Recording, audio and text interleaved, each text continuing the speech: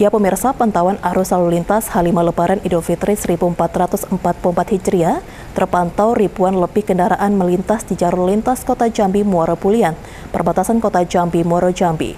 Dari 25 sampai 26 April siang tercatat terdapat serba 1491 kendaraan telah melintas perbatasan Kota Jambi. Arus balik pemudik diperkirakan meningkat di akhir cuti bersama ini Arus lalu lintas di jalur lintas Kota Jambi Muaro Pulian.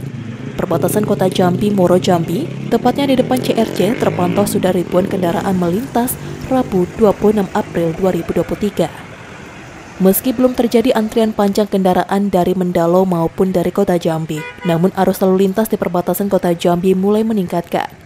Terhitung dalam dua hari, sudah belasan ribu melintasi di jalan lintas depan CRC. Hal ini disampaikan Ibda Ibrahim, Kepala Pos Pelayanan CRC Mendalo, Polres Moro Jambi. Dikatakan pada Selasa tanggal 25 April 2023 telah melintas 7.597 kendaraan dengan rincian kendaraan yang masuk bus 36 unit, kendaraan pribadi 2.740 unit, kendaraan roda 2 847 unit. Sedangkan kendaraan yang keluar bus 44 unit, kendaraan pribadi 3.018 unit, kendaraan roda 2 912 unit, dan pada hari Rabu sampai siang ini kendaraan melintas sebanyak 3.894 unit.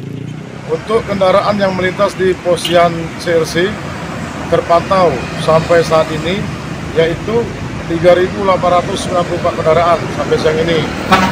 Untuk kemarin terpantau tanggal 25 April 2023 untuk kendaraan yang melintas semuanya 7.597 kendaraan.